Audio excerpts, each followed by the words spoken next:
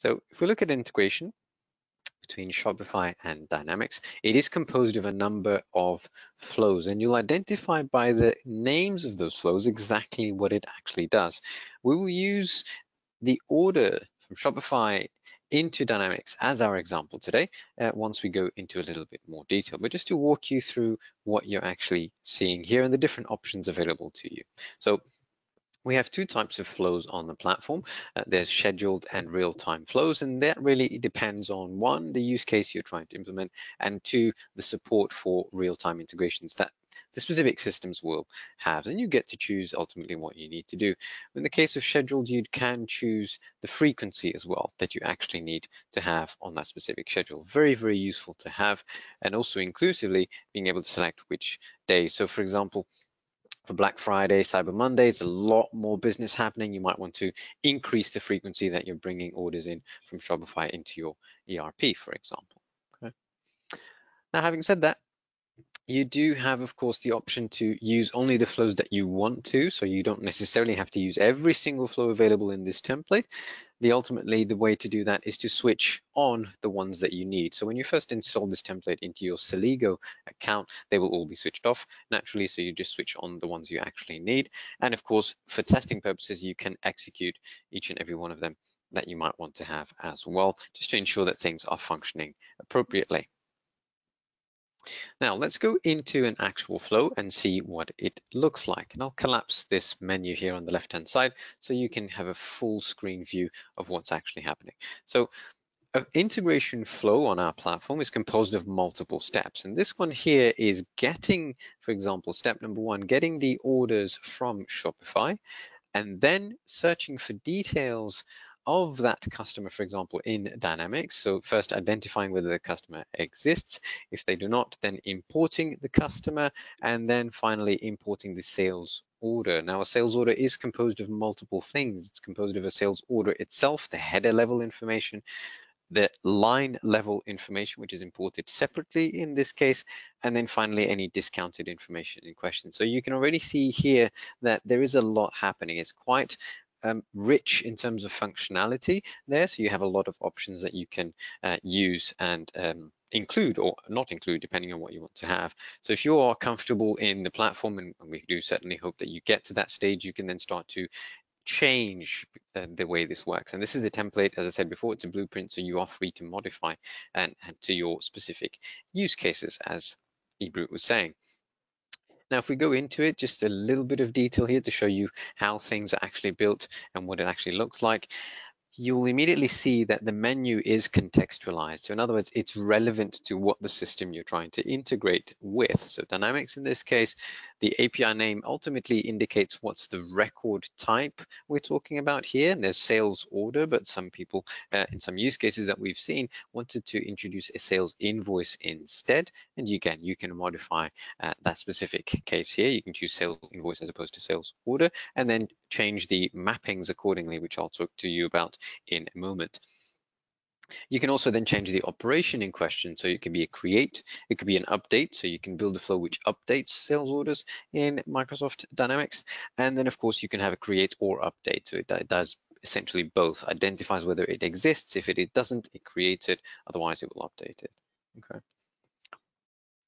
Now, I mentioned mappings before. Now, the mapping is ultimately where you define how the data gets translated, if you will. You can think of it that way. Now, because this is a template, there are a number of mappings already done.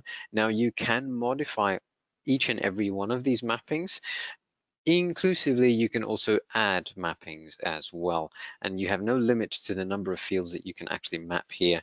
Um, now, it will show up as a drop-down as long as there is a contextualized uh, application. Again, in this question, we, we are connecting to Dynamics and to Shopify, so you will see a drop-down of the fields, and of course, you can type ahead as well. Aside from that, you have multiple types of mappings that you can choose from as well. And we have documentation, extensive documentation, which explains in what use cases you should use these and how to actually use them as well. Right. Now, once a flow is actually built and once you've gone through these steps of verifying that things are as you expect, then you switch it on and then you execute it. But then where do you actually see what's happening? How do you see that if something has gone wrong, for example?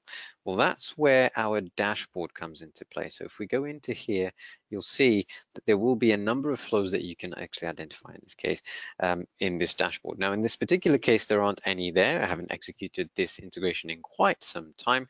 There's nothing there to show, but nonetheless, you can see that you can start to filter integrations, for example, based on a specific flow in question, or for example, based on a status. So if you want to see all the flows which are with errors, then you can do that and it'll essentially filter out that. Now, one thing which is important to highlight here is you will be able to see as soon as something is executing, in other words, as soon as a flow is executing and pushing across data from Shopify to Dynamics or vice versa, in the case of fulfillments, as Ebru said, then you'll be able to see this in real time. So you'll show up here that flow, whether it's a scheduled flow or real-time flow, you will see it here executing. You'll see such things as what's the status, completed or failed, for example, and how many records were processed successfully, ignored, or in error. So you have a number of statistical information that you can have here.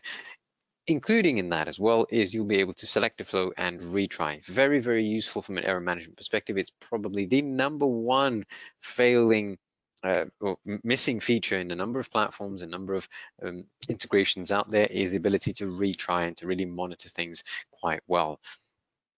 On the topic of monitoring, this is a dashboard that you can monitor things on, of course, but you do not have to baby this monitor. You do not have to constantly be looking at it. Ultimately, we want you to, to set Celigo and let it do its work. However, when things go wrong for whatever reason, you can be notified of them. So if we go over to the notifications tab here, you can choose which flows to be notified of.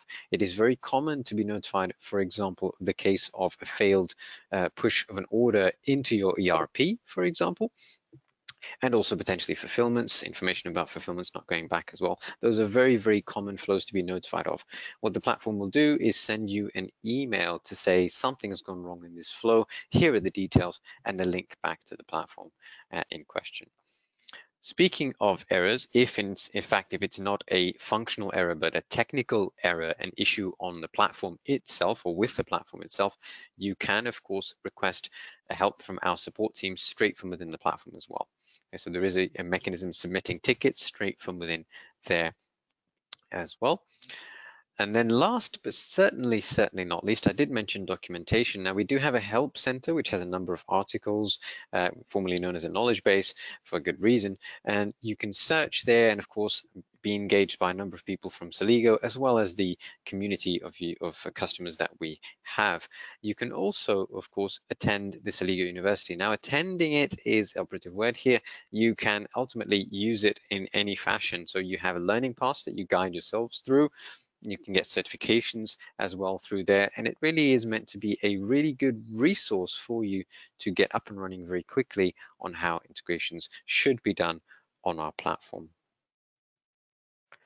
All right, I hope that has been very useful to you. I do leave it open for any um, uh, use cases that you might have, any challenges you might have, please do reach out. I'm more than happy to give you guidance and explanations on how to take things further in terms of your automations.